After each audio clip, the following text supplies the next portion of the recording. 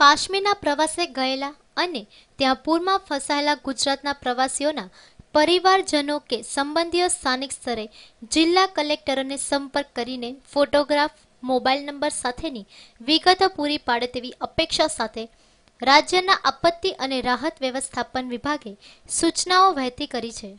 Gujarat state disaster management authority કાશ્મીરમાં ફસાયેલી ગુજરાતીઓ તેમજ ગુજરાત સ્થિત તેમના સગા સંબંધીઓની મદદ માટે ખાસ સ્ટેટ ઓપરેશન સેન્ટર એક્ટિવ કર્યું છે. તેના માટે શૂન્ય સાત નવ બે ત્રણ બે પાંચ એક નવ શૂન્ય બે ટેલિફોન પણ જાહેર કર્યો છે. કયા જિલ્લાના કેટલા ફસાયા?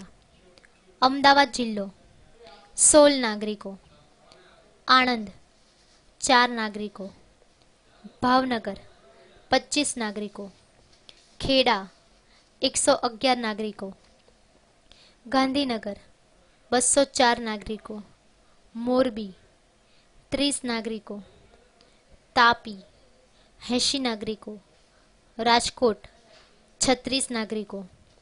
જારી કરેલા નંબર ઉપર મળેલી વિગતો તેમજ સ્થાનિક કલેક્ટરો દ્વારા એકત્ર કરવામાં આવેલી હકીકતોને આધારે કાશ્મીરમાં ત્રણસો છવ્વીસથી વધારે ગુજરાતીઓ અત્યારે ફસાયેલા છે. જેમાંથી મોટાભાગના ગુજરાતીઓનો મોબાઈલ નંબર પર કવરેજ અથવા તો બેટરી બંધ હોવાથી સંપર્ક થઈ શક્યો નથી.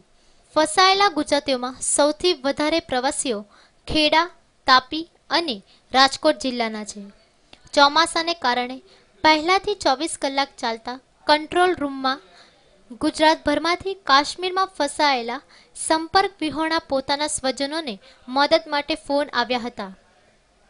આ તમામ ગુજરાતીઓના ડેટા એકત્ર કરીને પ્લાનિંગ સાથે તેમને પરત લાવવા માટે સંપર્ક શક્ય બન્યા બાદ પરત લાવવા માટે મંગળવારે ખાસ વ્યવસ્થા કરવામાં આવી છે.